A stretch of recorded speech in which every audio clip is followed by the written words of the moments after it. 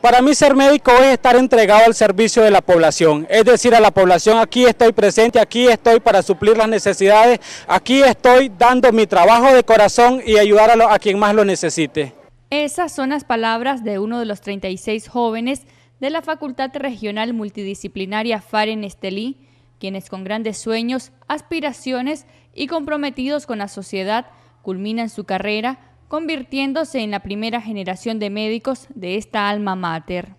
Podrías imaginarte lo contentos que estamos de estar marcando y haciendo historia en la educación en el norte de nuestro país, ya que somos la primera generación de medicina de esta facultad y por lo tanto para nosotros es un orgullo decir somos la primera generación de la FAREN y con ese orgullo vamos a ir a cada uno de los hospitales donde nos toque hacer nuestro internado y decir aquí está la FAREN presente con buenas calificaciones haciendo lo mejor para sacar la cara de la FAREN adelante. Muy agradecida con Dios y nuestros padres, ya que esta grabación es un premio a nuestro esfuerzo, valentía y dedicación. Y hoy alegremente podemos decir que hemos llegado a la meta. Es un gran privilegio y honor ser de los primeros. Eh, ser, eh, ser de la primera generación se dice fácil.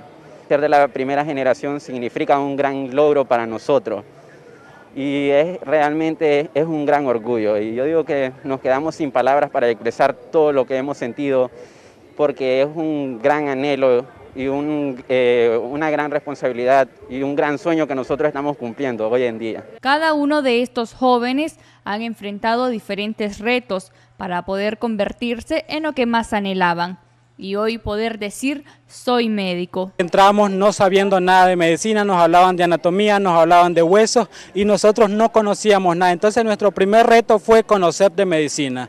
Posteriormente venían las áreas de desvelo, los turnos que realizábamos, pero pensábamos que no lo íbamos a lograr, amanecíamos días posturnos, nosotros cansados, a veces a clases, clases en la tarde, a veces creíamos que no lo íbamos a lograr, pero hoy aquí estamos. Hemos tenido que sacrificar mucho, muchos venimos de largo, muchos hemos dejado a nuestra familia por estar aquí. Personalmente, yo digo que es, salir de mi hogar, dejar a mi familia, dejar muchas cosas atrás y enfrentarme a algo nuevo. La medicina yo, para